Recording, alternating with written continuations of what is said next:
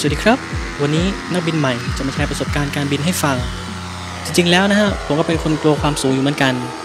แต่ก็ยังว่าแล้วฮะอะไรที่กลัวอยู่กับมันบ่อยๆ มันก็จะรู้สึกเฉยๆไปเอง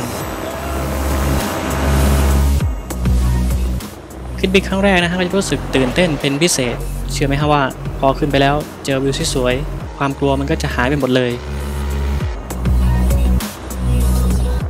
มุมมองเมื่อเราอยู่บนท้องฟ้านะฮะเราก็จะมองตรงไปชมวิวมุมกว้าง เรื่องของความกลัวความสูงก็จะหมดไปทันที แต่ถ้าเกิดมองลงมาด้านล่างแน่นอนฮะมันก็จะวิววิวหน่อยสำคัญเมื่ออยู่บนท้องฟ้านะฮะเราก็จะสัมผัสได้ถึงความเฉยของร่มทำให้รู้สึกถึงความมั่นคง และก็ปลอดภัย เอาง่ายๆนะฮะอยู่บนท้องฟ้า ความกลัวแทบไม่มีเลย กลายเป็นว่าสิ่งที่น่ากลัวและน่าตื่นเต้น ยิ่งกว่าก็คือขณะที่กำลังขึ้นบิน แล้วก็ขณะที่กำลังลงจอดมากกว่าครับ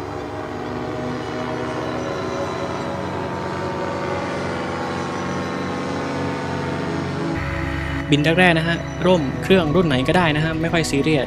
ขอให้บินขึ้นก็พอ แต่พอบินเป็นสักพักนะฮะตอนนี้ปาเข้าไป 60 ไฟล์แล้ว เราก็อยากได้ร่มที่เร็วขึ้น เครื่องที่แรงขึ้นอึดขึ้นทนขึ้น ผมก็ถือว่าโชคดีนะฮะมีครูฝึกที่ใจดีให้ผมได้ลองเทสร่มกับเครื่องหลายๆแบบไม่ต้องรีบซื้อ จนตอนนี้นะฮะตัดสินใจได้แล้วว่าจะซื้อร่มและเครื่องรุ่นไหนยี่ห้ออะไร ซื้อทีเดียวจบบินไปยาวๆ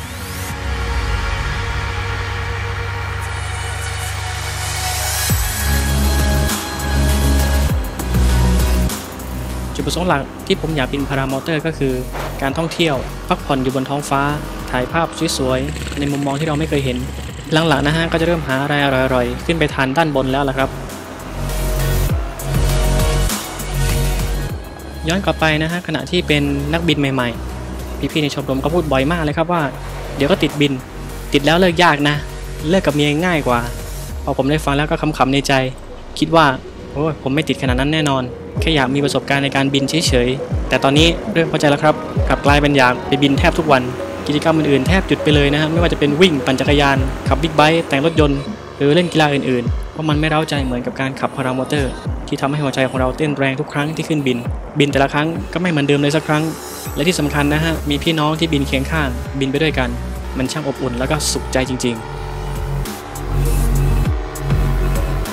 สำหรับคนที่อยากบินแน่นอนฮะว่าต้องซื้อเทียบเรื่องเงิน ค่าใช้จ่ายเรื่องการฝึก แล้วก็ค่าซื้อเครื่องซื้อร่มมาเป็นอุปสรรคอันดับหนึ่งแน่นอน แต่สำหรับชมรมร่มบินกาลสินของเรานะฮะเรื่องนี้ถือว่าเป็นเรื่องเล็กไปเลย ซึ่งตัวผมเองนะฮะก็ฝึกฟรีบินฟรีจนหลังๆนะฮะได้บริจาคให้ชมรม จ่ายค่าน้ำมันให้ครูฝึกบ้าง ตอนนี้พูดตรงๆเลยว่าครูฝึกก็เหมือนคนในครอบครัวกันไปแล้ว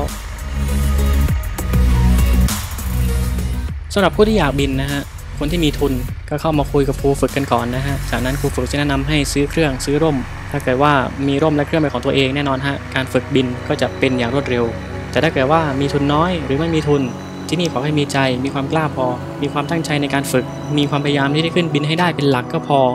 สำคัญนะฮะ ต้องแสดงให้ครูฝึกเห็น บินได้แล้วค่อยคิดว่าจะซื้อเครื่องซื้อร่มแบบไหนยังไงอีกทีครับ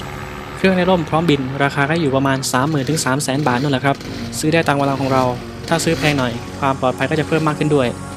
เอาละฮะ พูดมาเยอะแล้ว ย้อนกลับไปชมคลิปบรรยากาศการบินของผมดีกว่า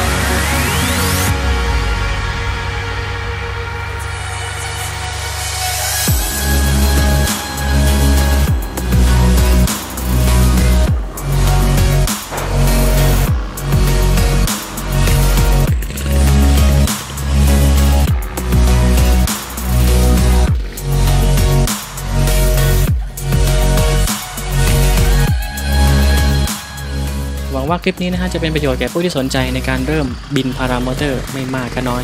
พบกันใหม่คลิปถัดไปนะฮะวันนี้ขอกล่าวคำว่า สวัสดีครับ